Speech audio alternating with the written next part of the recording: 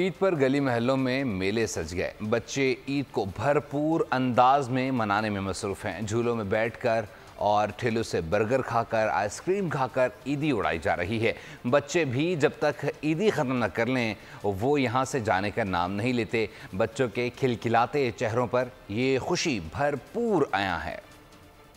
ईद का मौका हो तो सबसे ज़्यादा पुरजोश बच्चे होते हैं, क्योंकि ईद तो बच्चों की होती है। आज भी बच्चों की मौज मस्ती का सीन ऑन है। ईदी से बटवा भर गया तो बच्चा पार्टी ने बाहर का रुख किया। यहाँ पे आके झूले ले रहे हैं, हमने खाया पिया बहुत ज़्यादा है।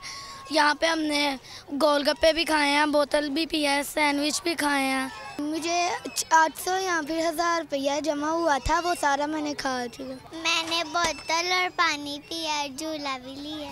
ईदियाँ बटोरने के बाद छोटू पार्टी फुल टशन में आ गई। रंग बिरंगे चश्मे पहने हाथों में घड़ियाँ झूलों के मज़े रंग बिरंगे गुब्बारे ठंडी ठार आइसक्रीम और ढेर सारा मज़ा। क्योंकि ईद आई है जनाब मज़ाक थोड़ी है।